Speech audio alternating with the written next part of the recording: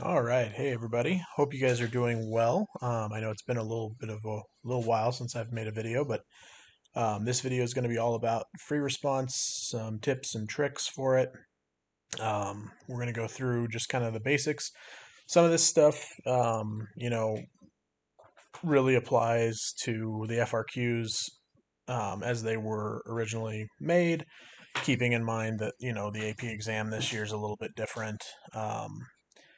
They are still the same FRQs, they're just slightly modified for the updated um, exam. So just keep in mind for this year, there are going to be two questions. You're going to get 25 minutes for question one and then 15 minutes for question two. Um, it's the only part of the exam. There is no multiple choice. Hopefully, you know that by now. And the two types are going to be design and inve- investigation. And then the second question is going to be analyze an environmental problem and propose a solution. Um, the original AP exam with the FRQs, the third type of, of uh, question was going to be to analyze an environmental problem and propose a solution using calculations. So, in theory, there should not be math on the AP exam. So, there has been quite a lot that has shown us that that's probably going to be the case. So, some general tips if you're going to be writing your test um, in by hand, make sure that you write legibly. They will not read it if it's not readable. So, you know who you are. You can practice writing legibly, um, not writing in cursive. I would highly recommend if you do write in cursive, it's harder to read. I know some of you write in cursive and think that it looks great, but I'm going to tell you right now, um, your cursive is not always the best. Uh, if you're going to write it, usually you'd use blue or black ink. Um, I believe because you guys are technically, if you're writing it by hand, you're going to take a picture of it and upload it. So I think if you wrote in pencil, you'd be okay. I do still recommend that you just cross out mistakes with a line and uh, try to avoid jumbling stuff together and adding in words. Um, obviously, the reason that you're going to want to continue to cross out your mistakes rather than erasing them if you're using a pencil is because you want to save time. Um, so I, I yeah. Uh, if you decide to type your responses, I would recommend doing it in a word editing program like Microsoft Word, but really what you're comfortable with. Uh, the reason being that you want to be using something that you've used before that's not going to come up with new tools that you don't know how to use. Um, and that would be helpful so that you can spell check and grammar check um, and do whatever else you might want to be able to do. You know, use synonyms, uh, use the thesaurus, that kind of thing. Um, I recommend that you type it if you feel comfortable typing. Uh, you want to avoid tree hugging, right? You don't want to go on and on about how important and lovely nature is. Keep in mind it is a science based test, so you want to use detail that's specific and support uh, to back up your assessment. Nope. So just remember that not all impacts are created equal, and we'll go into these in, in particular uh, in a couple slides. But just remember that there are societal impacts, economic impacts, environmental impacts, human health impacts, and political. These are different, so they're not always going to be the same. So if it asks you what is a human health concern, you don't want to talk about something that might be environmental. So some more hints. Just remember the most points you're going to be able to get on a FRQ is 10 points once you've answered all the FRQs, you go back. You guys actually can't do that. So once you've answered your FRQ, the first one, for instance, I would recommend looking back and seeing or finding where those points are coming from. Now, because the um, questions are different, I don't know for sure if they're going to be like this, where you're going to actually have 10 points. For instance, question one might be worth 13 points and question two might be worth eight points because one of them's longer and one of them's shorter. So you want to do your best to try and find points, but I wouldn't spend too much time worrying about that. The biggest thing is counting the points with the questions. So if it asks you to explain two things, you're going to have two points. If it says to identify and describe two things, identify and describe. That's two points, two things, twice. So you're going to have four whole points there. Um, answers should be in complete sentences. You will not get credit for incomplete sentences, so I just recommend that you write it in a complete sentence. If it says to identify, you're being very quick and simple. It's one sentence, but you do want to write it in a complete sentence. You don't want to answer with one super paragraph. Label your answers 1A, 2C. We've done this all year with our practice problems, um, with the practice FRQs. You want to make sure that you are clearly labeling where the question is being answered. I also recommend leaving a space in between like 1A and 1B so that it's obvious where 1A stops and where the reader can start 1B. You're you're you always got to remember that you are making or writing this FRQ to be graded by a person and you want to make it as easy as possible for them to grade it because the easier it is for them to grade the better chance you're going to get a good score. And remember that most of the people that are uh, grading you are environmentalists, so you usually want to go for the answer that is best for the environment unless it asks you to do otherwise. So you usually know what the best choice should be. Some more tips. Um, that's weird. Don't answer a question with it's bad for the environment, or it causes air pollution, or it'll harm biodiversity. Those responses are incredibly vague. You have to detail and explain why is it bad for the environment or how is it bad for the environment? How will it harm biodiversity? You don't want to say pollution because any third grader could just say pollution. You have to be specific. So if you're talking about pollution, talk about that specific chemical that's going to be polluting or talk about the type of pollution. You don't want to just say it pollutes. You should say it will pollute using, or it will, you know, increase the amount of carbon dioxide into the air, or it'll increase the amount of NOx in the air.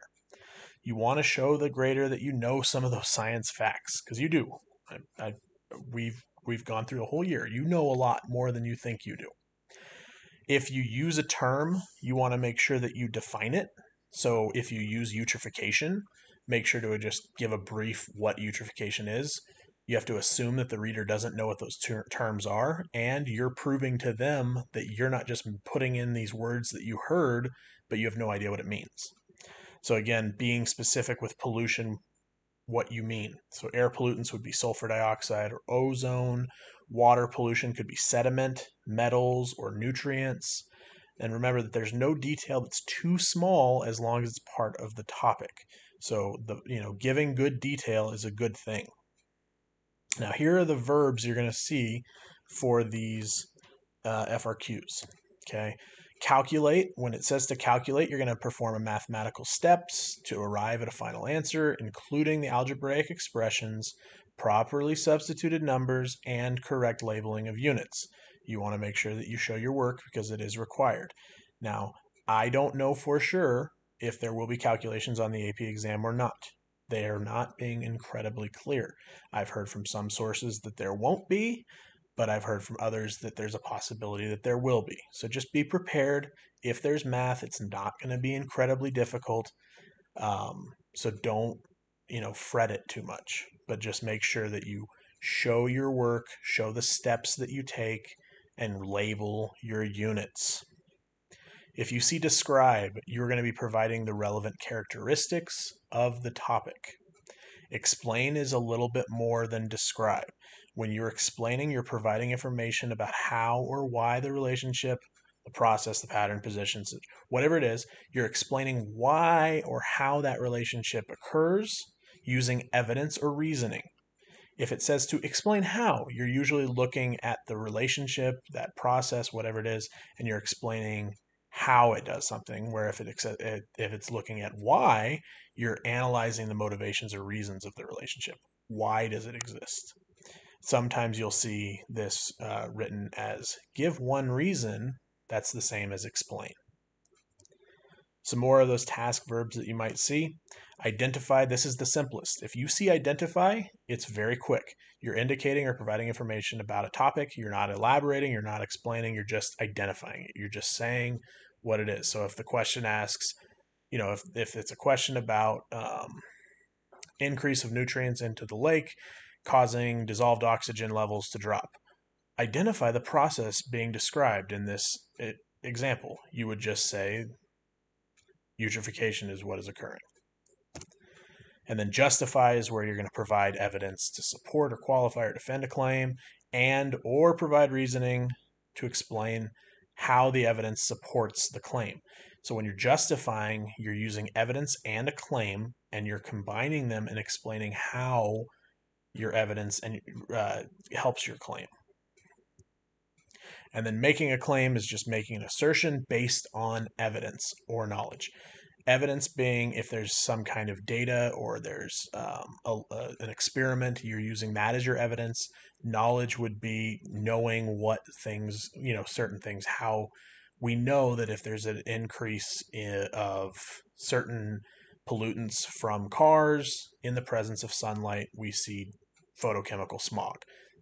So you can make a claim based on that knowledge, but you want to explain the knowledge or the evidence that you're using in your claim and then proposing a solution. This is something that we did. We did this for a um, one of our tests. Instead of a test, we did that uh, solution to pollution, and this is just providing a proposed solution to a problem again with evidence or knowledge. So you're not just saying some random solution. You have to be able to say that this solution could work because of some kind of evidence or knowledge. So you should be able to explain why the solution will work. Some more hints don't skip any of the parts of the FRQ. At the end of the day, if you have no idea how to answer one part, write something that might be right. Try your best. Leaving it blank is a guarantee that you won't get a point. Putting something in there that could be correct is a way better chance. Remember that if it says to give two reasons, only the first two things that you write will be graded. If it says two reasons and you write 20 things, and the first two are wrong and everything else, the other 18 are right, you will not get any points because they will only grade the first two things. If it says one reason, they're only going to grade the first thing. So if it says give one example of something and you give three examples and the first example you give is wrong, but the next two are correct, you're going to get no points. If it says to identify and describe two reasons, this is the example I was giving you guys a little bit earlier you're going to need about four sentences for the first reason and another four sentences for the second because you're going to identify that's going to be your first sentence and then you usually take about three reasons or three sentences to explain those two reasons or to explain and describe that identification. So that's four sentences. And then your second reason. So identify and describe two reasons. That's four points right there. And when we're talking about an FRQ that's worth 10 points, that's 40% of the FRQ. So you want to make sure that you spend a good amount of time on something that's asking you to do four things essentially. Don't restate the question. Uh, we've talked about this before. You're not giving an opening paragraph or a conclusion. It's not an English essay. It's free response. Short answer, complete answer, complete sentence. If the question asks something, don't start by rephrasing the question in your answer because by doing that, you're wasting time. The grader already knows what the question is. They're they're grading it. Yeah, they know what the question was. You don't have to remind them. Just answer the question. And then make sure to pace yourself, right? Because we're taking this online, um, it's there's a timer that's going to be built in, so you can use the timer. Help yourself keep track of your timing if you don't need if you don't want to use the timer i think they said that it's going to be able to you can uh, hide it but i would recommend using the timer be aware of your time know that if you have this much time and there's this many questions how much time should i spend on each part of the question now this is back to that not all uh, costs are equal if it asks for an environmental benefit or a cost you're talking about animals plants soil air etc. When we are talking about environmental issues, we are not talking about humans. So in environmental science, if it asks, describe an environmental problem here, do not talk about humans. If it asks for societal benefits, you're talking about people, groups of people, right? Cities, crops, farms. That's what a societal a societal benefit or cost would be. Societies are groups of people, cities, countries. That's a society. If it asks about human health effects, you're going to talk about asthma, emphysema, nervous system issues like birth defects, brain damage, or cancer. That's pretty much most of the environmental health hazards. If you know the exact effect, write the correct effect. Otherwise, just take a guess. If it's asking about human health effects of some kind of air pollutant, odds are there's going to be some respiratory problems like asthma. Um, if it's asking for an economic benefit or cost, you're talking about money or jobs. What would be an economic benefit of your solution? Say you have a solution, you propose your solution, and it asks for an economic benefit. It's going to create jobs. That's a solution. Or what would be an economic uh, cost to this pro- to this solution? Well, it might actually reduce jobs. It might increase the amount of money a country makes, or it might lower the amount of money a country can make. You're talking about money and jobs with economics. If it asks what the government can do, the government can really only do three things.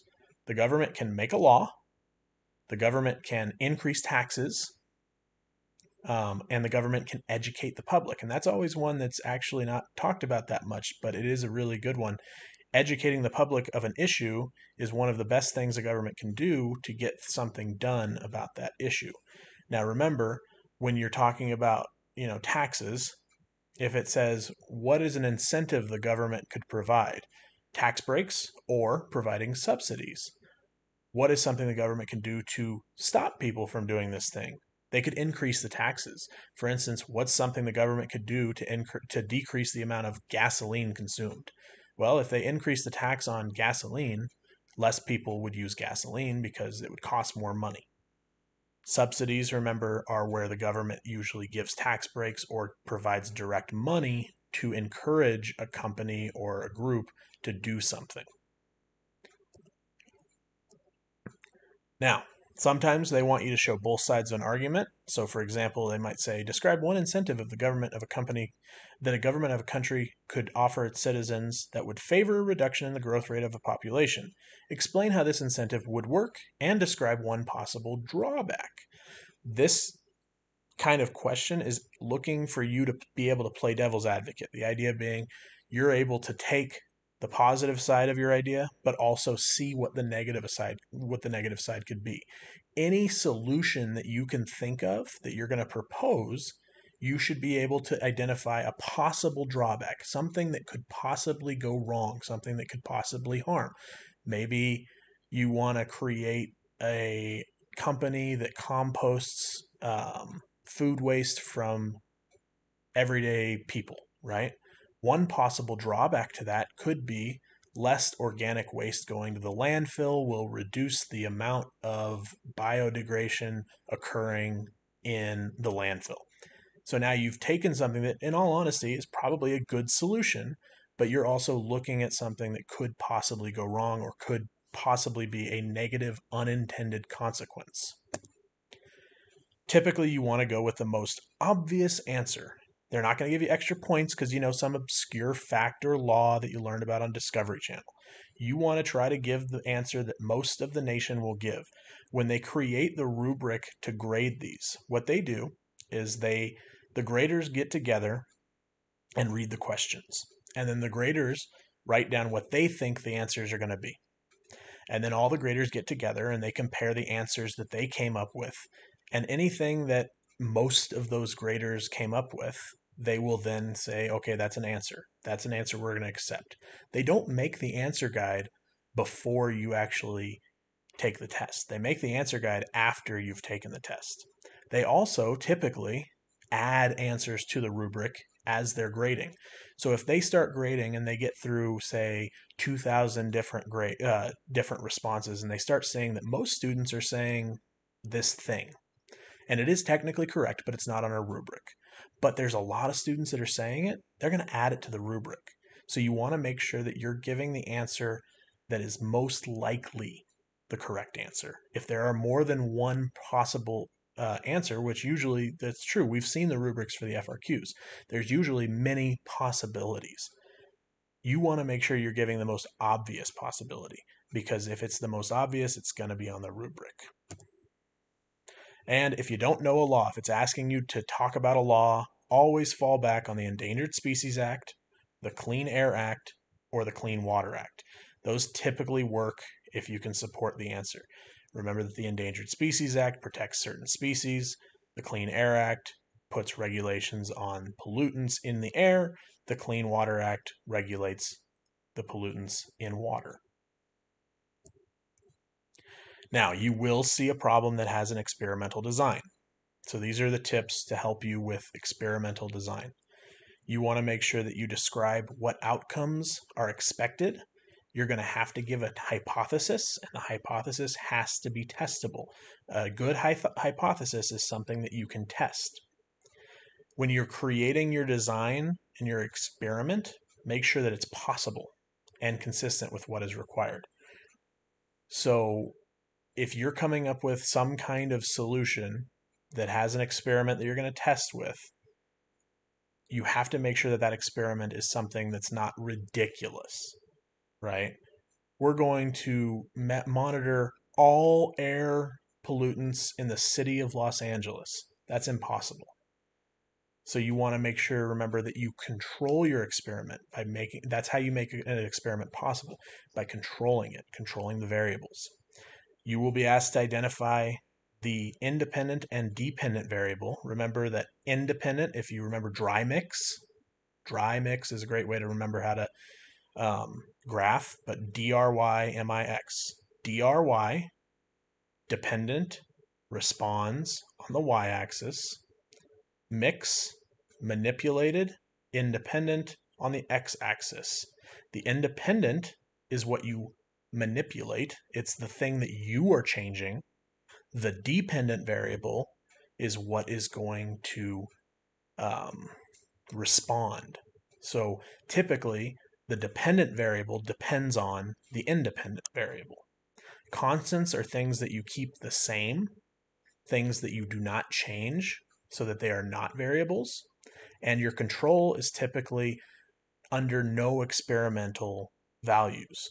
I'm not going to increase the amount of pollution to this rat. That's my control rat. That's the rat under normal circumstances without any of my experiment.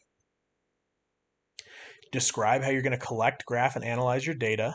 If you talk about how you're going to average data, that's considered analysis.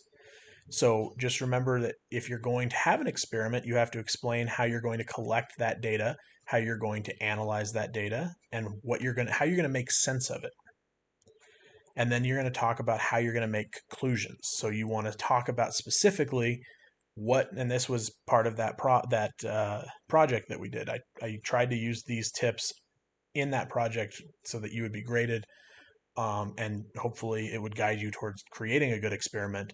The idea being that you should be able to talk about what results will you consider a success. What results are you looking for? What would prove your hypothesis, but also what will disprove your hypothesis. And then always, always, always talk about how you're going to repeat the experiment. Because doing an experiment one time is never going to be considered a good experiment. You have to be able to verify your results. You should do the experiment multiple times to find out if your results are consistent. So, more trials will be conducted, you could literally just say, hey, we're going to conduct this experiment a minimum of 50 times to, con- to, to ensure consistent data collection. All right, so we're going to look at just those two questions specifically now.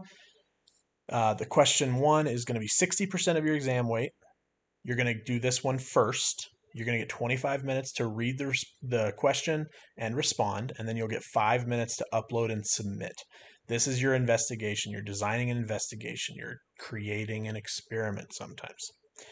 You're going to be presented with an authentic environmental scenario accompanied by either a model or visual representation or quantitative data and it may assess your ability to describe and or explain environmental concepts processes and models presented in written format analyze visual representations or data, analyze research studies that test environmental pr- uh, principles, meaning that they might actually give you data from an experiment that was conducted, and you have to be able to analyze those results so that you can show the, the environmental principles that we've learned and then describe environmental problems and or possible responses. So looking at an experiment and being able to say these are some of the problems or responses an environmental system may have when you're done with the first question, you'll upload it.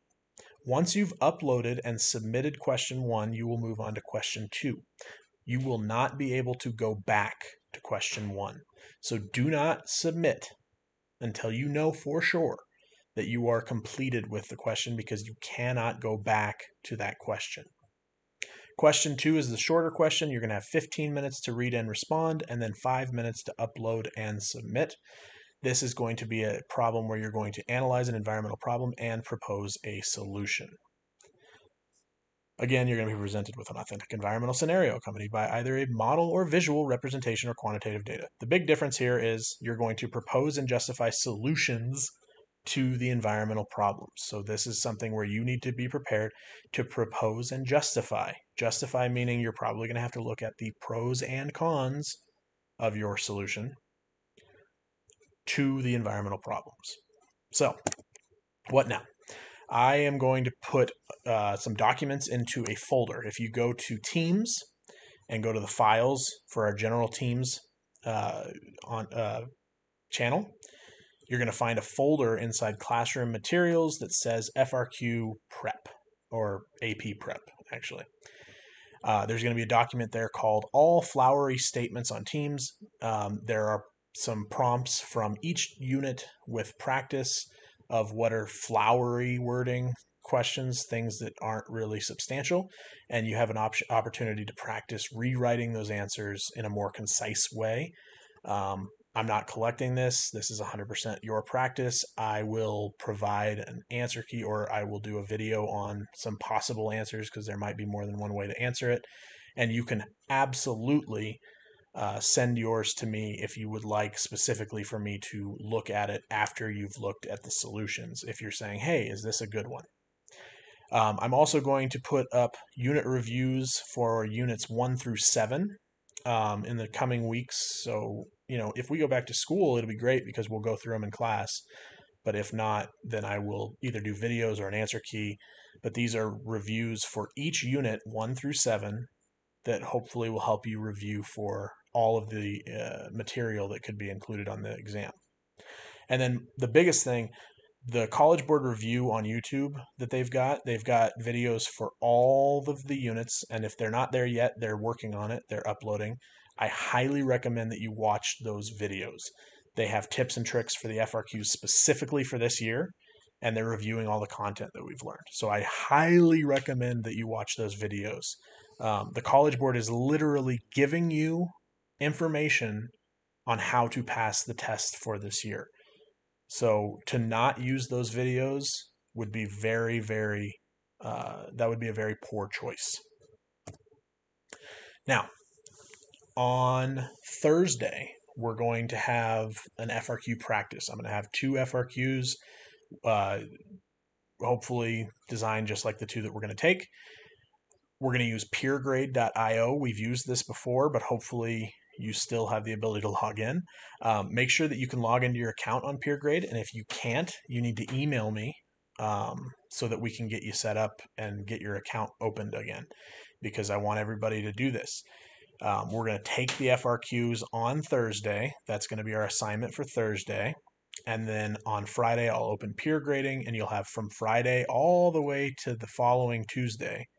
So that's technically our assignment for Monday next week um, to peer grade, and you'll peer grade your peers. The rubric will be provided, um, and we'll have an opportunity to kind of look at each other's responses. You'll get a chance to practice grading because, as you guys hopefully have realized by now, the practice of grading is one of the best ways to prepare for an FRQ because if you're writing your answers as if you were you know thinking about the person that's grading it, you're going to do better. Um, make sure to ask questions and have discussions on teams. You know, we have a lot of really bright students in this class that I think would be very happy to help you if you are struggling, if there's anything that you need help with. Use Teams, and I will be responding to discussions as well if you guys have any questions on there. Also, tomorrow, April 22nd, just in case you didn't know, is Earth Day. Super exciting. Um, we were actually, if we were in school, we would have probably done something. Uh, this was when I was planning on doing our little, like, uh, you know, little hike or something. Um, either we were going to do it on the Tuesday or Thursday around Earth Day, but anyways, um, I've looked, I've reached out to a production company that's made a documentary called "The Story of Plastic," and they're going to be airing the documentary on the Discovery Channel tomorrow. Um, but I'm working with them to get a free screening because they're they're working with teachers to do free screenings, um, so that you guys could all watch it online without having if you didn't have television service. Um, so hopefully that'll happen. It might not be on Earth Day. It might happen in the coming weeks. But the key is that you'll be able to watch this documentary for free. Um, from what I've seen, it looks like it's going to be a really good one. Obviously, this isn't required, so just something to think about. Um, something else you can do on Earth Day: go for a hike or plogging. In case you don't know what those are, that's that's hike and jogging but you're cleaning up litter while you do it. Um, if you do that, make sure you wear gloves, make sure you wash your hands, wash your face afterwards. But it is a great way. Um, I take my dogs on walks just about every day. And whenever I go out on a walk with my dogs, I typically am picking up litter on the walking trails that we go around because people are savages. Um, the other thing you could think about most of the garden stores are open, and like Moana Nursery and Home Depot and Lowe's. And if your family wants to get uh, a new plant or a tree, think about, you know, maybe having a little family outing. You guys go out in the front yard or the backyard and you plant something new for Earth Day. Get some more carbon sequestration. With that being said, that's everything I've got for you guys for FRQ prep. Um, hopefully, this video wasn't incredibly long and boring. Uh, if it was, I'm sorry but I think everything in the video, everything with these tips is incredibly useful to help you guys get the best possible score on your FRQ because I want you guys all to get a five. Uh, stay safe, smile, go look at the kitten pictures that I've posted. Uh, we still have one left that isn't adopted yet. Believe it or not, of those four kittens, three have already been called out and picked and hopefully you guys are doing well. I miss you guys very much. Uh, this is not the life for me. I need people, so I hope to see you all very soon. Thanks again.